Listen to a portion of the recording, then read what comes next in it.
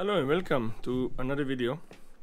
In this video I want to show you my record table which I have a screen that connect to a computer on the back.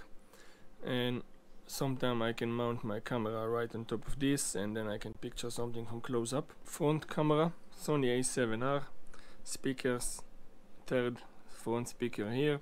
Camera on the top microphone lights another lights on the back.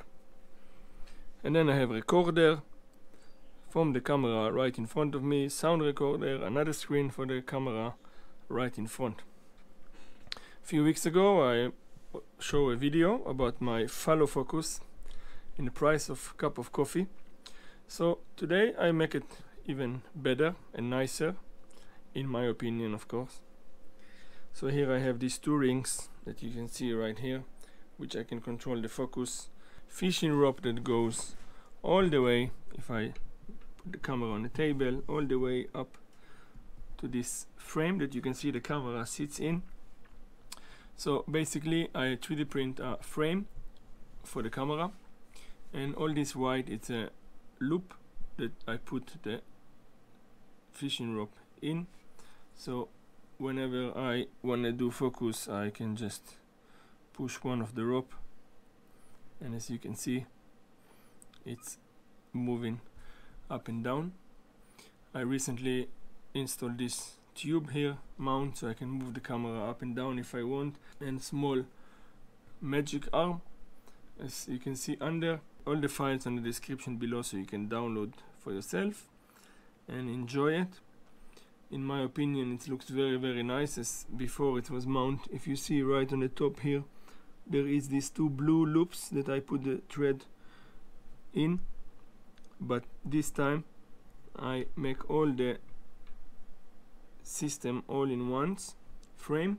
I can take the camera from the back it's a quick release right under so I can take off the battery I can take the HDMI cable in and out and then I can also take the camera from the back of this frame. And you can just release the follow focus ring. You don't need to open it each time it just snap in and out so you release it take the camera off and then you can use the camera as a daily use. But it's much more simple and much more nicer. And of course on the side here you see it's a lot of holes to mount equipment if you want lights right in front of you and microphone on the top whatever you want you can do.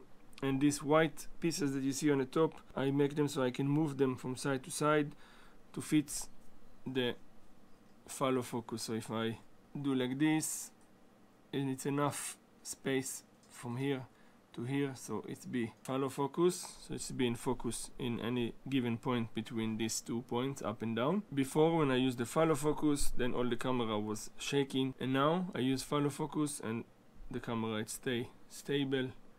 Everything connected secure so no worried about this part. That's all I want to show you today my follow focus in the price of a cup of coffee so you can download the files and enjoy it. Please like, share and subscribe to my channel and I hope to see you next time. Thank you very much for watching. Bye bye.